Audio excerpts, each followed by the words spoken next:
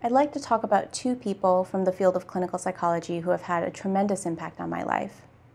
The first is the late Susan Nolen-Hoeksema, who was a professor of psychology at Yale University and a leading expert on rumination and the role that it plays, especially in depression. I joined Susan's lab as a research assistant in the summer before my senior year in college, which by then I had become an expert at writing to different professors about their research and not receiving a reply. So Susan, the way I'll always see it, took a chance on me and gave me that position.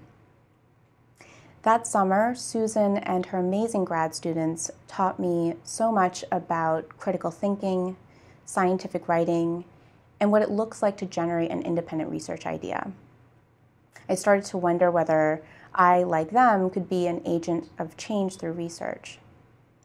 It was also during that time that I began to expand my research interest to self injurious thoughts and behaviors, which led to the next person who took a chance on me Matthew Nock, who's currently a professor of psychology at Harvard University and a leading expert on suicide and self injury.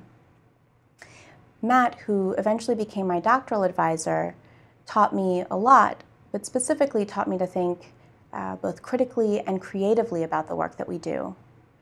And it was Matt who instilled in me this sense of responsibility to persistently improve the quality of knowledge gained through research.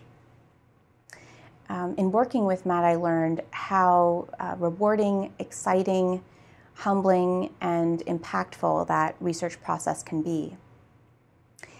Um, importantly, both Matt and Susan were very down to earth people, so real people with very full lives, both in and out of work, um, but who always had this genuine interest and willingness to lend their time to their students and mentees today I find myself sharing that joy in mentoring and teaching others and just grow in admiration and appreciation um, for everything they've both done for me.